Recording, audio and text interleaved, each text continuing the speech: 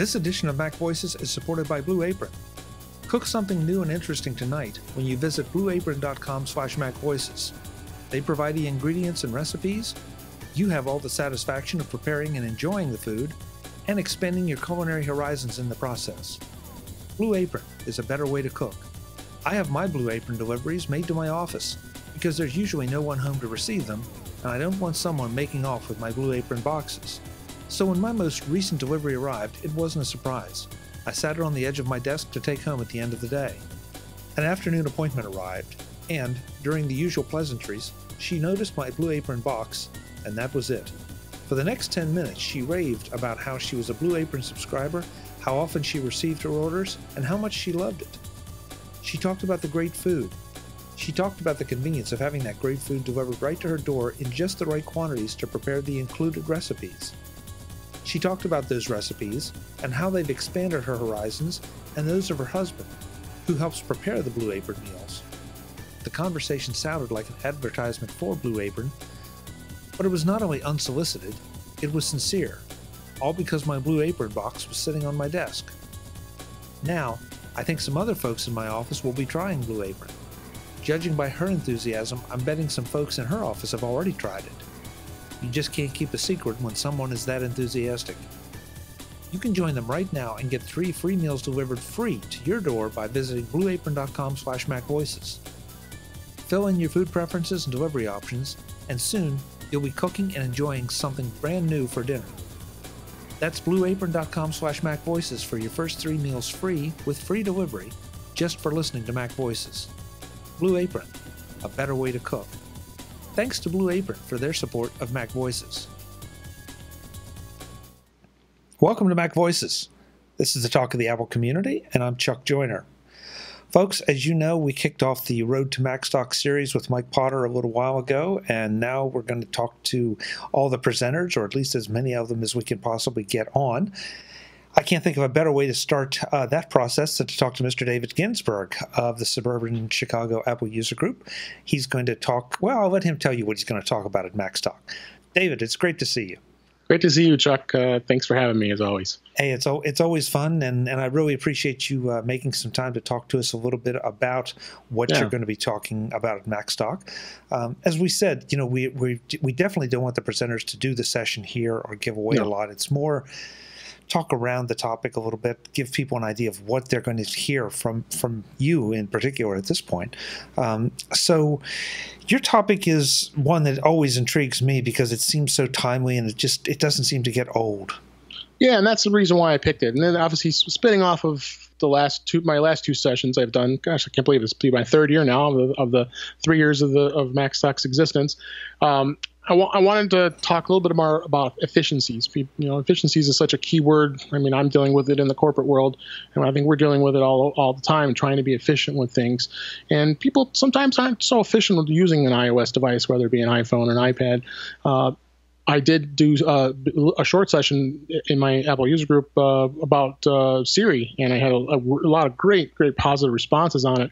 And I think, uh, and I had already intended to put that as, as an efficiency, just understanding and using Siri to your to your benefit, because people don't realize how great Siri is, and people kind of get scared of it, or they think they kind of they think it's kind of silly, or they don't want to use it. I think that one of that one of those pieces is going to really stand things out in, in my talk. So. Um, as well as you know uh, two of the other things I thought were inefficient would be dealing with the widgets and dealing with the uh, all the views and that, um, and, and, utilizing those and getting getting your information quickly. Yeah, that. When when I read the description, I thought, boy, there are a lot of ways you could go with this. You could obvi- yep. obviously talk about Siri. Um, you can talk about some of the built-in things in in iOS. Um, you can talk about you, all the utilities and all kinds of stuff. I mean, apps out there just just you could do three sessions on apps um, exactly. and, and and not have a problem. You, you, mentioned though you're talking doing a lot of this in in business. Um, do you think this is going to be a session for business people or is it going to be for other other non-business users or is it going to cut across both lines? Well i think it'll, be, it'll cut across both lines really. Um, again, because I work in, in, in, the enterprise and the enterprise world, you know, when I ever, whenever time I do these types of sessions for my for my user community, um, it, it, I think people find that it's it's it's very efficient when they use something some of these tools that I that I show.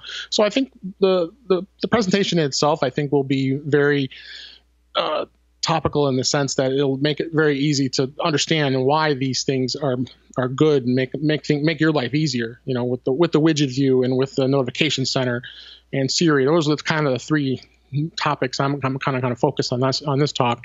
Again, I only have 20 minutes, so like you said, and I, I when I first sent this stuff to Mike, I gave him a you know pretty pretty good in-depth thing of looking at some of these things as well as adding uh, things like battery life and trying to be more efficient with that.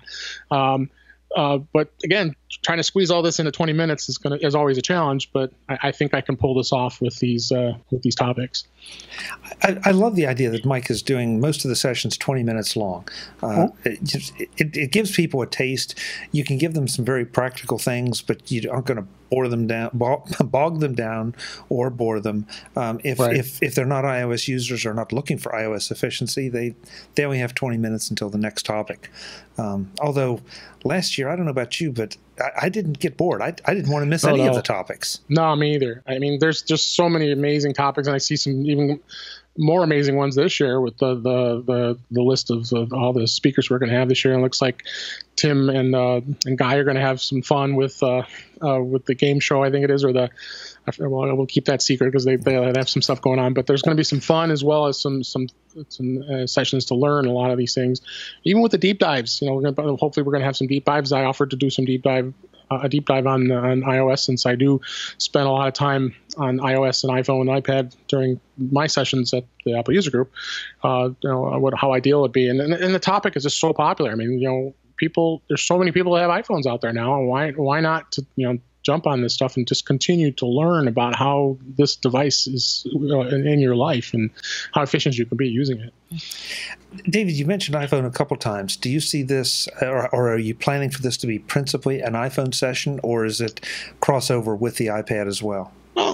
I'm going to cross over a little bit because um, I mean, I've been noticing lately. I spend a lot of time with this sucker. I mean, I, I really do. I think we all do. I mean, I think most of our time during the day, that's that's all really we're on is on our iPhones. Being I have the iPhone 7 Plus, it just I've been in such a thought that I don't know I, I want to use my iPad as much as I used to in the past, and I know I'm kind of contradicting myself from what I talked about last year with the iPad, and it could it be your full time computer? Uh, but I, am kind of finding that the iPhone, especially the larger size one, it just lets me be more efficient and not have to go dive over to my iPad. But I then I get to points like, you know, I really I miss this iPad. I want to have this larger size screen and being able to do a lot more things. So I'm kind of kind of crossover to, to I think both sides just to kind of let people see, you know, how how can you be efficient on both ends of the spectrum with the iPad or the iPhone. Which iPad do you have, or which iPads? I, I well, I, uh, I, I, I, have since sold the uh, 12.9 inch, ah. so I, I decided, to, yeah, that was a little excessive. So um, I, I, I stuck with the, the 9.7 inch uh, iPad Pro, so the more the, the current model, and uh, it works great. It's such an efficient uh, uh, device, and in fact, I've noticed that it actually has more sensitivity with Siri than the, the iPhone does when it, it comes to. I'm not it. Hey Siri, hey Siri, and it because I was sitting right next to my right next to my desk here, and I was uh, playing around with, with Alexa, which is also behind me. And I shouldn't have said that because it just probably lit up. Uh, and uh, it's hard to not say that. Uh, and it, it, actually came up, and then there there there it goes. Mm-hmm. Uh, it uh, it seems to be pretty pretty sensitive. You know, and when I was pretty far away from it, so um, so I'm, i think I'm I'm seeing that the, the iPad does have some some um, good features when it comes to the sensitivity of of that stuff. But uh, but I guess I think it's going to be a good balance between both of them. I find it really interesting that you decided to sell the large iPad. Um, I, have I've talked to too many people that have. Yep. Uh, they they I guess because I've got the I've got the seven plus two, um, so they feel like that there's a bigger gap, uh, and, and I mean that in a favorable way between yep. this and, and the large iPad as opposed to this and the 9.7. So now, I've true confessions. You know, I have both, um, and I and I use them for different things. But I, I don't know. It, it's especially if you're trying to really analyze your productivity on each machine. No, I, I think I'm I'm I'm looking towards the future because you, you and you and you or both of us are early adopters. Always, we're buying the, the latest models as soon as they come out. Um, And I've already see, heard the rumors that the new iPad's going to be coming out uh, possibly in March or April. They're talking here, um, and it looks like they're going to potentially look at a gap between the 9.7, maybe do a 10, and then go up to the 12.9. I like to see what Apple is, is going to do with the, this 12.9. I figured, you know, I saw it early and, and be out, and then go back and if I decide, you know what, I'll sell the nine seven, go back to the 12.9. It, it was really large for me. That, that was, that was probably one of the biggest uh, challenges I had with it because it was just so large when I wanted to use it, where I, I, where I was able to compare both of them, and I felt, you know, the 9.7 inch model just seems to be just right for me when it comes to any of the needs I have. I still have my MacBook Pro, so I mean, you know, I'm always using I'm using that as well. So, uh, so it's you know that's that's hard. It's hard hard to balance between all of these different devices and decide, hey, what which one is really best for you. I mean, I like them all, and as well as I know you do. So, um, I think it's uh, it's something that, uh, that that we that we really it's hard hard to hard to, hard to challenge on that. Yeah, I, your session last year, you know, could the large iPad, the that was the one you were talking right. about, could that be your main computer? And you, you made a, some really good cases for it. I, I thought, right. you know, my and, and certainly not saying you're wrong. I think it. I think so much of this stuff depends on what it is yes. that you want to do with it you know, and what you need to do with it. And for some people, nothing short of a MacBook Pro is going to do. For other right. people, you know, maybe the the iPhone seven, maybe maybe even six, five, that may be plenty. It, it just depends on what you want to do. Yeah, And I and I hate to uh, not to give get a comparison away from Apple, but there's a good, good another another good analogy. A lot of people ask me, okay, what would be a great computer for you? And then some people just don't want to make, a buy a Mac. And I talk to because you know I do work with people who use Windows machines, so they may not want to put the investment into a Mac because it's you know it is expensive. They they they like to understand that well I have to tell them you're going to get great service, you're going to get a good product, and all that stuff. But you know I, I with, the, with the advent of the Chromebook and with the way Chromebooks have been going like crazy, selling cheap, maybe someone doesn't want to have uh, as much of an advanced laptop as they want, um, as they'd want something like a Chromebook, you know. So I, just use that analogy, kind of throw that into the into the wave here. Okay, do, is the iPad 12.9 versus 9.7? That where do you decide there too? All really depends on where you are, budgets. That always matters too. So, yeah, I, and I know I, I just had. Um, oh boy, I, I really hate to label anyone, but I'll, I'll, say it this way: I, have recently um, worked with some seniors, and I think that the iPad, in, in fact, I know mm-hmm. after after working a little bit with the iPad, the iPad is is ninety eight percent of what they they need or want, and you don't have the hassles of um, some, you don't have nearly the virus concerns, if any. Um, you don't have any of the okay. I shouldn't I shouldn't visit this website. Site I shouldn't visit that website because they're if it's if it's really bad, it's not going to just not going to work on the iPad. Um, email, Facebook, you know, all those things. Yeah, that's what a lot works. of people do, and it, it's good enough. But and I, am sorry. No. I, I, I did I did bring up the uh, the topic before the show, and I was helping somebody get their their Windows machine uh, fixed, and uh, he also has an iPad. So I said, well, why don't you just use that iPad for a while and see how you like it? Because it, it, I mean, he well, he likes it because he he does use it, but he still thinks that he needs to have a, a, a laptop. So he decided, okay, let's get a laptop. You know, he he, he keeps his songs locally. He's not an Apple Apple Music user, that kind of thing. So he does documents. He's doing his taxes, you know, those kind of things. And those are, can be always a challenge using an iPad. But I think we're getting there. And as I said last year during my other session, I think you could easily do your taxes on, on an iPad. I don't think it's as as efficient if you're doing a lot of work compared to be, being on like a MacBook Pro or or any type of laptop. But uh, but I definitely agree with you with that because a lot of seniors really do like these iPads. They're simple. All they need to do is check email and go on the internet. I mean, those are the two biggest things that they do all the time. And what's the?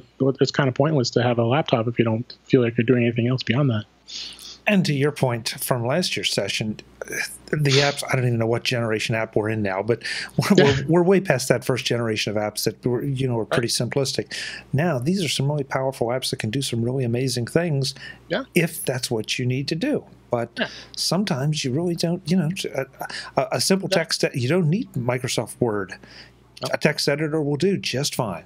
No, I agree with that. So. And, um, but the good thing is, and I've been doing a lot of testing with um, uh, OneDrive and with uh, with uh, all of the Office suite of apps, they're pretty awesome. I mean, I mean they, they really work well, and they uh, they do uh, a very good job of syncing between your devices. I mean, just like with it, like just like iCloud does. Um, so they've really done a Microsoft's done a really good job. So if you decide you do want to do some network processing, uh, especially on the iPad, um, I think you're uh, you're in for a good good experience. Well, no matter what level you're using iOS on the iPad or the iPhone, somehow we right. got off onto an iPad. Um, you know, th- there are always efficiencies. There are always yeah. new tricks and tips that you can learn, and that's what I'm looking forward to seeing what you're going to show us, um, even oh, though it's months yeah. away.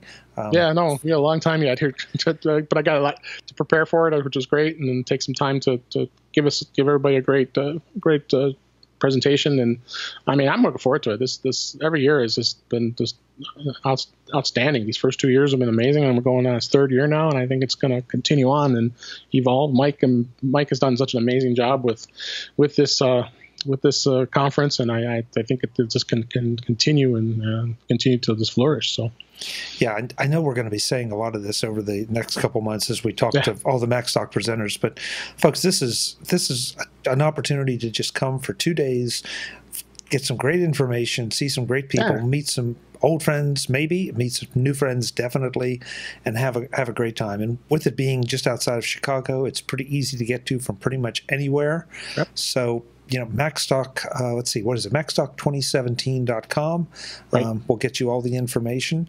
Um, get registered, get your hotel rooms now, and join David and I and a lot of our friends, and we're going to have a ball.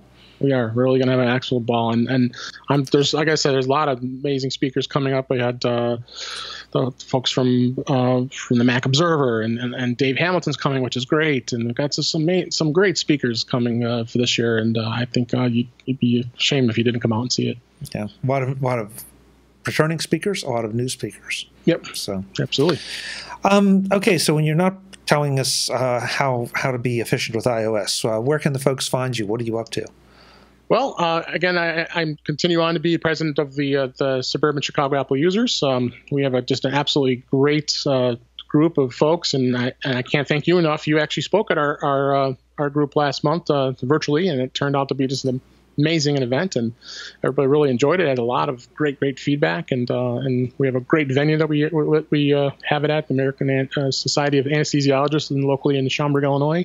Um, our group is is doing really well, and and that, that, that's great to hear. For a lot of these Apple user groups have been kind of uh, going on the little low end of things, but uh, we've got a lot of interest, which is which I really uh, am appreciative of. And I also do an iPhone special interest group. That's why it gives me kind of be the, the subject matter expert with this stuff. And we spend just two hours of just I just it's like I get to sit around and talk about iPhone and iPad and iOS and with all my closest friends and, and we, we, and they get to ask me questions and I think a lot of people just love doing that. I know we got about 30, 40 people come out every time we do it. So it's, it's, uh, it's a lot of fun. And I think uh, people need to, to, to see that that's, uh, that's something that a lot of people like to talk about, and you don't get to do that. And you go into the Apple stores, yeah, you get a little bit of an experience there, but it's changing. It's very busy in those stores, and this is a good alternative to be able to to, to do these kind of things and hang out. Well, great. I will plan. Well, I'm sure we'll be talking between now and then on the Absolutely. Mac Jury or something. Um, but if not, I'd love to be there. yeah, but at the very least, I will definitely see you in July. For um, sure. Folks, I'm Chuck Joiner. This is Mac Voices. We're on the road to MacStock Conference and Expo. I hope you will join us. It's July, it's just outside Chicago, and it's a great time. So please check out MacStock, yeah, MacStock2017.com, get registered, and join us. Until the next time, thanks for watching. Visit MacVoices.com for show notes, links to subscribe, and to connect with Chuck on Twitter, Google, Facebook, YouTube, Vimeo, SoundCloud, the Mac Voices blog, the Mac Voices Dispatch, our weekly newsletter, and on Mac Voices Magazine, free on Flipboard that helps you do more with your Apple tech. Advertising handled by Backbeat Media at backbeatmedia.com, bandwidth provided by CacheFly at cachefly.com